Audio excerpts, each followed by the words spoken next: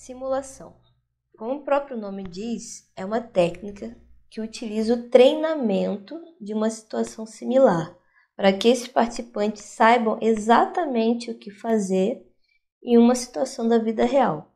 E aí, geralmente, os cenários, eles são cenários mais complexos, são cenários de gravidade, que a gente não quer que de fato aconteça, mas que é importante para aquele aprendiz poder desenvolver alguns conhecimentos, algumas habilidades relacionadas àquele cenário e a gente vai simular então aquele cenário dentro de um ambiente protegido, que é um ambiente de sala de aula, enfim, um ambiente que ele está ali para desenvolver e para aprender, e aí é ali que é possível errar.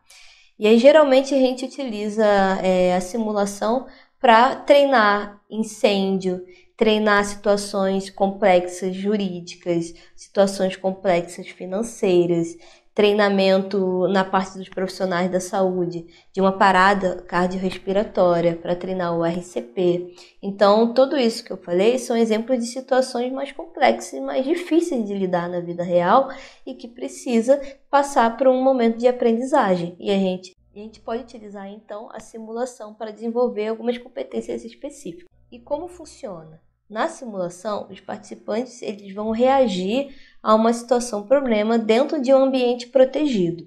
É extremamente útil para promover a expressão de atitude, de opiniões, de valores, fomentar a empatia, fomentar a desinibição. No entanto, pode ser um pouco mais demorado, porque é necessário um pouco mais de estrutura.